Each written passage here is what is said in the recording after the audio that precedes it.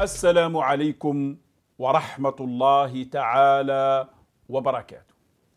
أهلا وسهلا بكم أحبتي الكرام في هذه المداخلة والتي سوف نتحدث فيها عن التناقضات التي تضع علامات استفهام كبيرة عن حقيقة مرض الرئيس عبد المجيد تبون. كما هو معروف أن الرئيس نقل مجددا إلى ألمانيا في العاشر من جانفي 2021 بعدما عاد إلى الجزائر في 29 ديسمبر 2020 رحلة العلاج هذه دامت نحو شهرين كما أكده الرئيس بنفسه في أول ظهور له في 13 ديسمبر 2020 عندما ظهر في ذلك الفيديو وألقى أول كلمة بعد غياب عن الظهور بدأ في آخر ظهور له أنذاك كان في 15 أكتوبر 2020 لما استقبل وزير الخارجية الفرنسي. ومن ذلك الوقت لم يظهر الرئيس إلى غاية 13 ديسمبر 2020 منذ إصابة الرئيس تبون بكورونا والمتناقضات لا تتوقف. الرئاسة تعاملت بمنطق جعلها في موضع أنها تضلل وتكذب على الجزائريين. ومنذ ذلك الحين ومن قبل أصلا أن الرئاسة والإعلام الرسمي لا يثق فيه الجزائريون. وزاد الطين بلة مع عهد تبون الذي يقول أنه يؤسس للجزائر الجديدة شاهدوا المتناقضات. بيان بيان صدر عن رئاسة الجمهورية قالت فيه.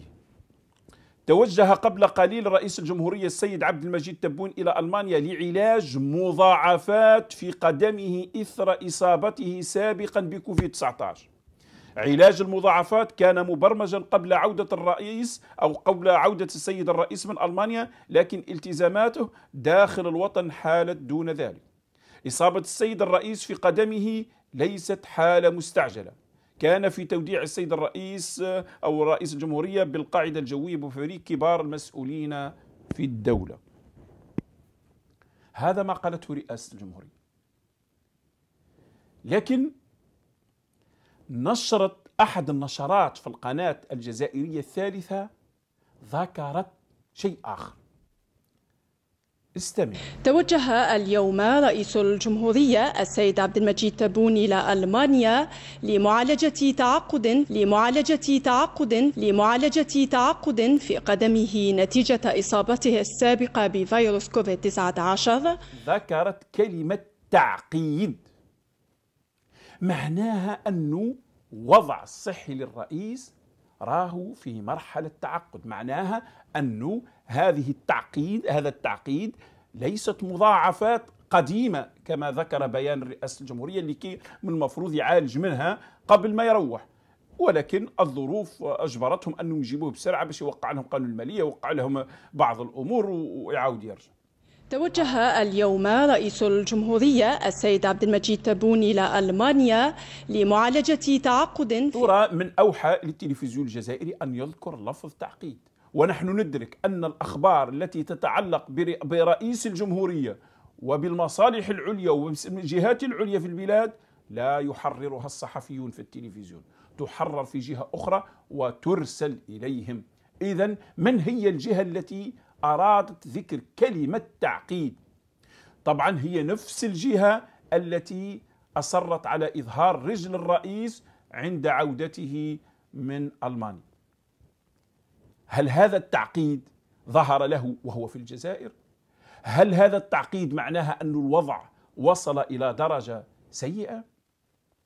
وهناك معلومة تقول أن الرئيس عنده الغرغرينة وأنه إذا بقي على هذا الحال ويحتمل أن هذه الغرغرينة التي الذي التي أصيب بها بعض ناس آخرين واللي عندهم داء السكري وصل بهم إلى حد بطر الرجل.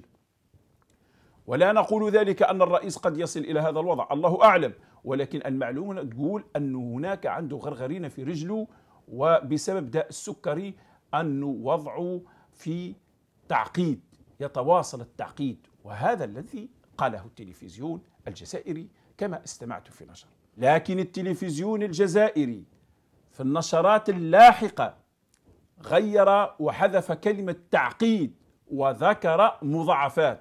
ففي نشرة الثامنة ذكر مضاعفات. رئيس الجمهورية سيد عبد المجيد تبون يتوجه إلى ألمانيا لمعالجة مضاعفات في قدمه. توجه اليوم رئيس الجمهورية سيد عبد المجيد تبون إلى ألمانيا لمعالجة مضاعفات في قدمه نتيجة إصابته السابقة بفيروس كوفيد 19 وبعد ذلك في نشرة منتصف الليل. أيضا ذكر مضاعفات. رئيس الجمهورية السيد عبد المجيد تبون يتوجه إلى ألمانيا لمعالجة مضاعفات في قدمه نتيجة إصابته السابقة بفيروس كوفيد 19 ترى من هي الجهة التي طلبت من التلفزيون أن يستدرك ويغير كلمة تعقيد بكلمة مضاعفات؟ خليه الجواب لجماعة التلفزيون للجماعات المعنية بهذا الأمر. الأمر لم يقتصر فقط على هذا التناقض الذي ظهر في التلفزيون بل الرئيس الجمهورية عبد المجيد تبون لم يذكر لا كلمة تعقيد ولا كلمة مضاعفات بل ذكر كلمة أخرى هي البروتوكول الصحي. استمعوا له. أيها المواطنات والمواطنون كما كان مبرمج منذ مجيئي من بداية الشفاء ألمانيا كان مبرمج أن أعود لاستكمال بروتوكول الذي سطره الأساتذة. له بروتوكول ما تبقى إلى شيء قصير قليل جدا ولكن بالضرورة لازم ننتهي وإلا نضيع كاع الشيء اللي ندار من قبل. كما استمعتم إلى الرئيس عبد المجيد تبون ذكر البروتوكول.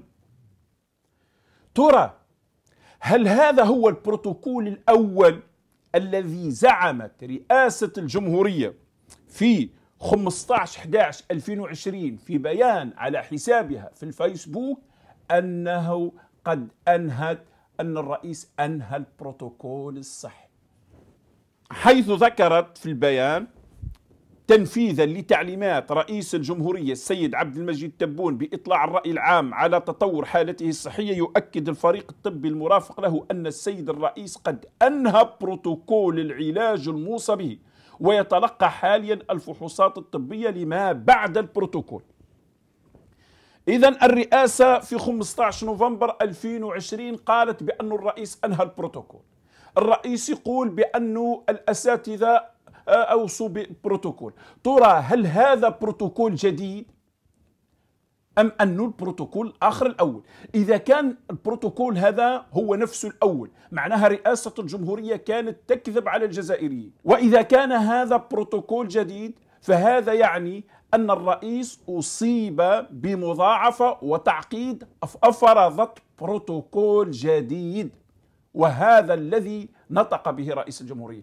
الرئيس لم يقل مضاعفات ولا قال تعقيد وقال بأن هذا الأمر كان من المفروض يعالج ولكن آه، ذكر البروتوكول. إذا هناك بروتوكول بدأ شرع فيه الرئيس الآن وهو الأرجح لأنه أنهى البروتوكول ودخل في مرحلة آه، مرحلة آه، متابعة صحية وبعد ذلك دخل في مرحلة أخرى تتمثل في مرحلة النقاهة والآن الرئيس يذكر بروتوكول.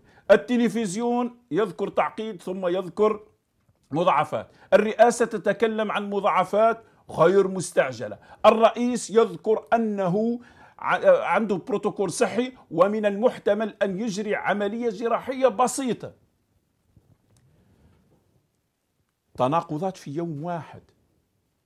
هذه كلها تدل على أنه ما يقال ليس الصحيح ما يقال هو مجرد متناقضات. الرئاسة والرئيس لا يريدون أن يقولوا الحقيقة. الرئيس الذي عاد منذ 29 إن 12 2020 لم يظهر لا في في على كرسي متحرك ولا وقف ولا مشى ولا أي شيء. عاجز عاجز وجالس ومقعد. والآن هذه تقول بأنه عمليه أنه غير مستعجل طبيا وبعد والرئيس يقول راح نجري ممكن عملية جراحية بسيطة. آه، المصادر تقول بأن الرئيس أصيب بتعفن غرغرينة في في رجله وهذه تجعله وضعه الصحي مفتوح على كل الاحتمالات. إذا هذا هذه التناقضات تدل على أنه لا توجد هناك شفافية. وزير الإعلام عمار بالحيمر يتحدث أن الجزائر تعاملت بشفافية مع مرض الرئيس. أظهر لي تراه ما هذه الشفافية يا أيها الوزير. رغم أن الإعلام الرسمي الجزائري عمره ما يلتقي مع الشفافية. هما خطان متوازيان لا يلتقيان أبدا. والرئاسة ماشية هكذا والشفافية ماشية في اتجاه وحده. كما لاحظنا أنه تم توديع الرئيس من من المطار العسكري بنفس الطاقم. الرئيس كما تلاحظون مثل ما عاد شكر الجيش سليل جيش التحرير. وعلى رأسها الجيش الوطني الشعبي سليل جيش التحرير. وكل أيضا شكر الجيش سليل جيش التحرير ومباشرة وجه عيونه إلى شنقريحة بالأخص الجيش الوطني الشعبي سليل جيش التحرير. هل هي عفوية؟ ينظر إلى رئيس أركان الجيش الوطني الشعبي ما دام يتكلم عن الجيش أو أنها نظر فيها رسالة معينة هذا الأمر خليه نضعه جانبا والأيام القادمة ستبين الكثير مما هو مستور ومما هو آه، مخفي وتتعمد السلطة على إخفائه. أمر آخر أنه ذكر المنتخبين. كذلك مؤسستنا المنتخبة كذلك مؤسستنا المنتخبة. على من تضحك أيها الرئيس أنت تقول جزائر جديدة وتقول بأنه نظام بوتفليقة فيه عصابة ومشني عارف واش وكذا وكذا والنظام السابق وراه سقط وفي نفس الوقت تشيد بالمنتخبين. من هم المنتخبين؟ مجلس الأمة تاع بوتفليقة. المجلس الشعبي الوطني تاع بوتفليقة. النواب في البرلمان كلهم دخلوا بالشكارة وبالرشوة. وفضحهم الطليبة اللي موجود في السجن. إذا على من تضحك أيها الرئيس؟ هل هؤلاء هم المنتخبين؟ هل هؤلاء هم الذين يمثلون الشعب الجزائري ما بعد الحراك الشعبي؟ ثم أمر آخر يقول الحكومة فيها وعليها. الحمد لله يعني الدولة واقفة ما زالت ماشية. والحكومة مثل ما قلنا فيها وعليها. هذه الحكومة أنت الذي عينتها. أنت من عين هذه الحكومة في الجزائر الجديدة اللي تحدث عليها. كيف فيها وعليها هذا تمهيد إلى قرارات ستتخذ لاحقا تتمثل في حل هذه الحكومة أو تغييرات بعض الوجوه لأن القيادة الحالية التي تتحكم في دواليب الدولة لا تريد هذه الوزارات ولا تريد هؤلاء الوزراء ولا تريد هذه الحكومة أصلا. لذلك مهد فيها وعليها فيها تمهيد إلى تغيير حكومي ترى هل سيغير عبد العزيز جراد أم يغير بعض الطاقم في الحكومة أو شيء آخر هذا الذي لم يتضح بعد وليست لدينا معلومات كافية حتى نتحدث في هذا الموضوع. اذا بالمختصر المفيد إخواني الكرام انه ما يحدث غريب وعجيب الرئاسة تكذب هذه التناقضات التي تشاهدون فيما يخص صحة الرئيس توحي دائما أن هناك طبخة تطبخ. نعم طبخة تطبخ وهذا يؤكد ما قلناه من قبل حول الاجتماعات التي كانت تعقد حول مرحلة ما بعد الرئيس. ترى هل هو تمهيد؟ أنه بعد ذلك سيطبق عليه المادة؟ المادة الدستورية وتم إجراءات آه، دستورية أم أن الأمر فيه شيء غير طبيعي؟ فلا يعقل أبدا أنه لما يتعلق الأمر برئيس نشرة تقول تعقيد كلمة تعقيد كبيرة جدا وخطيرة ونشرة تقول مضاعفات. الرئيس لم يذكر لا تعقيد ولا مضاعفات يتحدث على بروتوكول صحي. وأنت هذا المثلث يعيش متناقضات مقابل مثلث آخر هو الذي قاعد يرسم في مسار الدولة ويتمثل هذا المثلث في شنقريحة خالد نزار توفيق. إذا إخواني الكرام المعلومات المتوفرة لدينا تقول أن الرئيس عنده غرغرينة في رجله آه، أنه رايح يجري عملية جراحية ليست بسيطة كما يقول فقط قالها من باب طمأنة نفسه باب طمأنة الجزائريين. أمر آخر أن الرئيس بحد ذاته لم يظهر تفاؤله. قال ممكن خفيف ونتمنى وكذا وكذا. كله كلام واضح بأنه رايح والأمر مفتوح على كل الاحتمالات وليست قضية بروتوكول محدد ماذا سيفعلون وماذا يريدون. قضية رجل الرئيس يبدو أنها ستطول. ربما سيشفى منها ربما سيبقى دائما هكذا ربما أيضا تصل الأمر إلى قطع أو بتر الرجل والذي لا نتمناه له وطبعا نتمنى له الشفاء العاجل. والملاحظ أيضا أن هناك جهة واحدة هي التي تدير هذا المشهد ف اقتصر التوديع على نفس الأشخاص الذين استقبلوا الرئيس وهذا مما يوحي أن الأمر يريدون أن يبقى في دائرة معينة، الرئيس لم يظهروه على الطائرة رغم أن كل الجزائريين مقتنعون تماما أن الرئيس يتحرك على كرسي متحرك ورغم ذلك لم يظهروه كيف يتحرك، كيف وصل إلى المطار، كيف ركب في الطائرة على الأقل مشهد، يتفادون هذا الأمر ويخلوا الجزائر خلوا المشهد مثير خلوا المشهد مثير لأنهم يريدون هذا الغموض وهذا وعدم الشفافية لأن هناك طبخة تبسط في الظل. هناك طبخة يجري طبخها على نار هادئة تتمثل في عزل الرئيس تبون اليوم أو غدا مع مرور الوقت. وهناك ترتيبات تتعلق برئيس جديد وحكومة جديدة ومشهد جديد بعدما تمكنوا من تفكيك الحراك الشعبي وتفتيته من داخله باستعمال بعض الأغبياء الذين ليست لديهم دراية بالألعاب السياسية ولا يفهمون حقيقة المؤسسة العسكرية من داخلها بدل أن يعتمدوا على الناس اللي يعرفوا العسكر ويعرفوا الجيش من الداخل ويعرفون أن هؤلاء الناس كيف يفكرون يقومون بزرع الشبهات وبزرع الأكاذيب حولهم وتخويف الناس منهم حتى يبقوا يستمعوا لهم ويستمعوا إلى أكاذيبهم التي الكثير منها لا تمت بصلة إلى ما يجري في الواقع.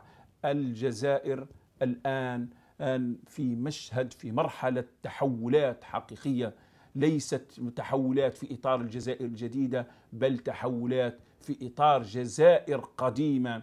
استعاد عناصرها زمام الأمور ويتحكمون في المشهد من وراء الستار ويكفي ما عليه حال الرئيس اللي ما يحك ما يسك حقيقة وليست لديه لا قوة شعبية ولا قوة سياسية ولا قوة عسكرية ولا قوة أمنية حتى يفرض أجندته على هؤلاء التماسيح تماسيح العصابة وتماسيح الأجهزة الخارجية والجهات الخارجية التي يرتبطون بها.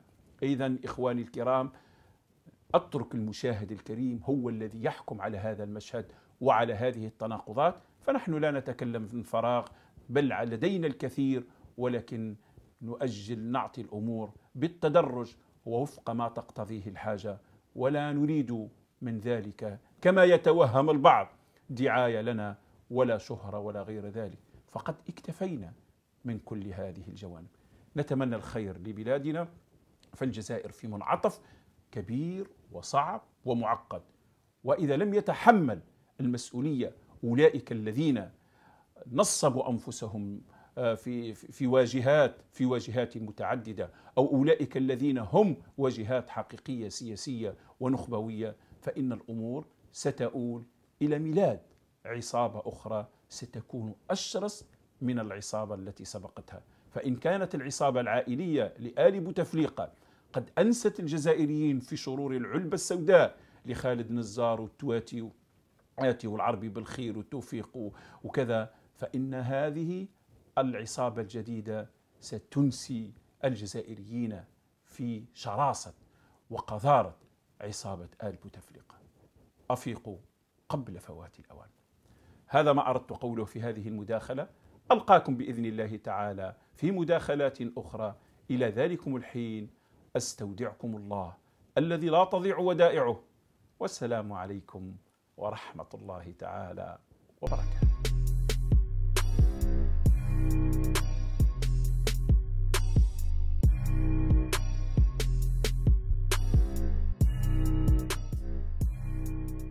لا تنسوا الإعجاب بالفيديو والاشتراك في القناة.